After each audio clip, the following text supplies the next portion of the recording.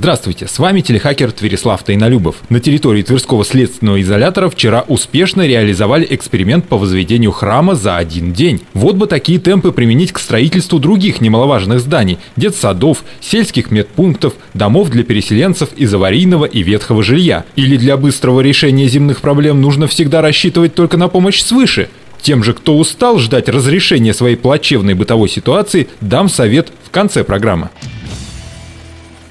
Сегодня, в Международный день без машин, пришла новость, что Тверской филиал Почты России скоро получит 200 велосипедов. Какое счастье! Теперь наши почтальоны будут отмечать День без машин еще в течение нескольких лет. Но я хотел бы коснуться почтовой службы по другому поводу. Как известно, перечень ее услуг постоянно расширяется. Там и пенсии выдают, и проездные социальные, и кредиты под 2% в день. Очень выгодно получается. 720 годовых. А еще платежи принимает, полезными товарами торгуют, рисуют и даже фотографии печатают. И чем длиннее этот перечень, тем длиннее и очередь к заветным окошкам. Полагаю, тенденции глобализации и укрупнения скоро изменят почтовую организацию. Полагаю, нам следует ждать появления огромных торгово-офисных гиперпочтамтов, где помимо перечисленных услуг Почта России откроет кинотеатры, рестораны, боулинги, супермаркеты, спа-салоны и аквапарки. И, разумеется, на цокольном этаже в самом дальнем коридоре можно будет, немного поискав, обнаружить стойку стойку, где занимается приемом и выдачей посылок и писем. Надеюсь, с меньшими очередями.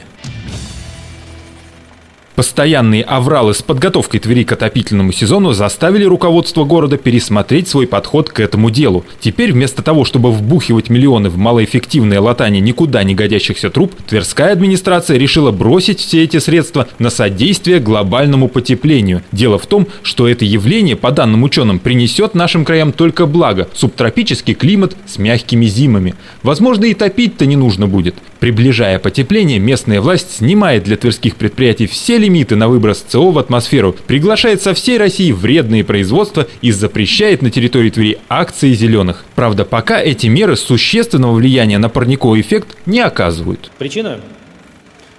Наверное, все-таки не до конца ответственность и расторопность тех людей, которые отвечают за этот вопрос. Для тех, кто внимательно смотрел выпуск, мой совет тверичам, желающим как-то улучшить свои условия жизни. В это воскресенье у вас появится шанс.